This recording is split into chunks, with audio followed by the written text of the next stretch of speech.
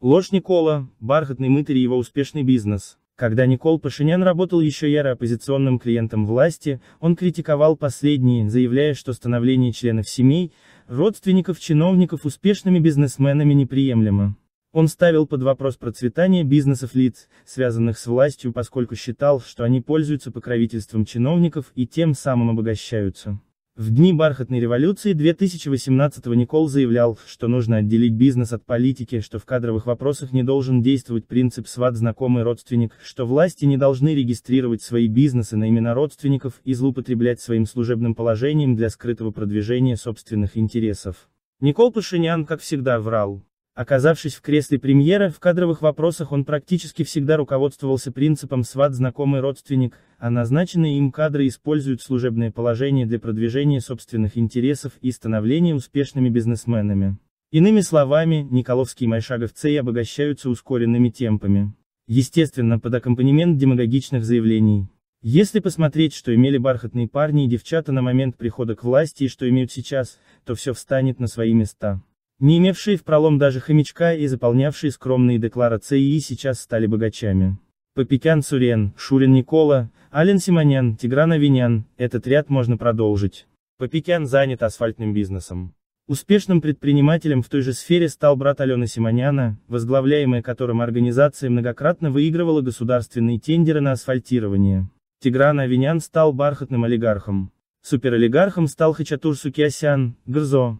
Кстати, назначенный главой комитета по госдоходам Рустам Бадасян тоже сопричастен к принципу сват знакомый родственник, и, подобно герою известного фильма, путает государственную шесть с личной. Этот ушлый тихоний в имидже поймальчика, бархатный мытарь Бадасян тоже недалек от схем со злоупотреблением служебным положением. По части Р, Бадасяна муссируется два типа информации. От различных слоев бизнеса поступают жалобы, что он по собственному усмотрению подвергает предпринимателей террору, проявляет к ним произвольное отношение и подходит ко всем с позиции презумпции преступника. Есть также сведения о том, что имеющим проблемы с комитетом по госдоходам бизнесменам подсказывают, что у них все будет в порядке, если они будут пользоваться услугами ООО ТР. Данная фирма – юридическая организация, которой по счастливой случайности руководит супруга Рустама Бадасяна, Тативик Саркисян. Та самая Татевик Саркисян, которую в рамках Николовского лозунга не будет принципа сват знакомый родственник после революции пристроили в аппарате бывшего вице-спикера НС Лены Назарян. После работы в государственной системе в течение нескольких месяцев в 2019 на имя жены Рустама Бадасяна было зарегистрировано ООО ТР Лофиорм, которое сразу же начало процветать. Обратите внимание, фирма на имя жены Рустама была зарегистрирована в период его бытности чиновником.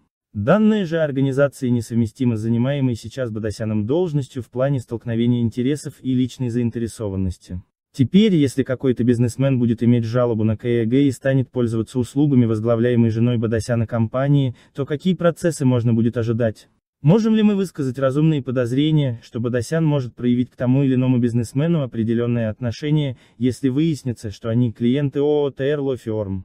Конечно можем, а если Бадасян станет оправдываться, мол, моя жена занята бизнесом, какое я к этому имею отношение, то здесь можно будет озвучить излюбленный Николовцами вопрос, а почему при Серже не открывали юридической фирмы? Ведь тогда было немало юридических компаний, а Рустам был юристом и мог заниматься этим до 2018. Ответ очевиден. Николовские пропагандистские СМИ и фейки сейчас распространяют, мол, хотя Никол я национален, но зато он борется с коррупцией. Ложь? Он и национален, и коррумпирован. Вот такая вот революция лжи и фальши произошла в 2018 -м. Было использовано справедливое недовольство людей и украдены их эмоции, и сейчас проматывается все, что попадается под руки.